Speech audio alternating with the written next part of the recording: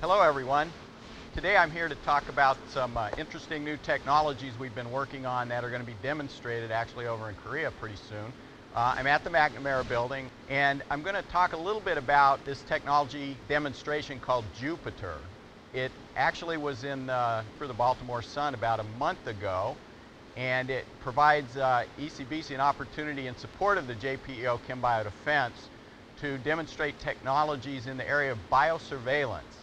And what the ATD is going to demonstrate is biosurveillance information gathering, analysis, and early warning for potential uh, disease. Now, you've heard biosurveillance talked about for a while, and in simplest terms, what it is is the ability to identify emerging disease anywhere in the world in advance. If a pandemic occurs, it really has no borders, so it's going to move across the globe very quickly. And any massive outbreak of disease is a national security threat, just like a chemical event or a radiological event.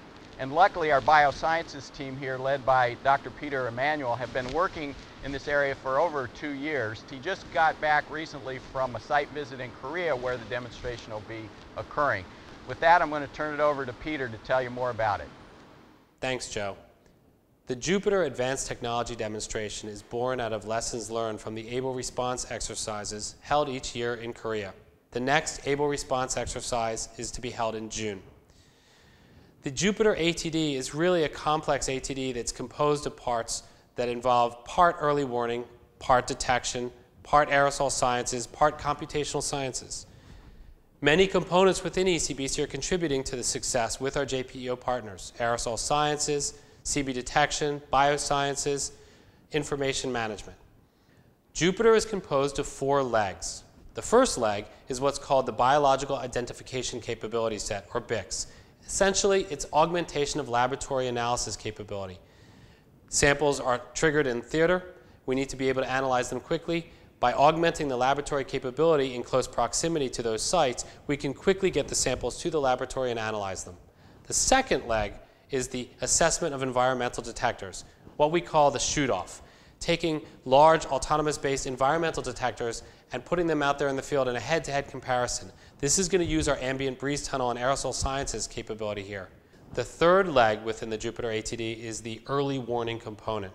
The early warning component relies upon the multifunctional suite called the Kraken, nicknamed by soldiers at Redstone Arsenal in Alabama. The multifunctional suite allows non-CB and CB detectors to create a common operating picture to warn about impending biological attacks.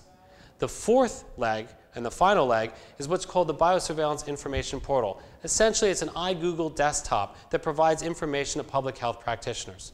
All of these legs work in concert to create a greater awareness of the Pacific Theater to provide greater biosurveillance protection for our troops.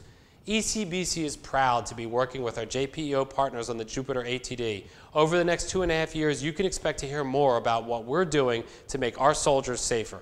Thank you.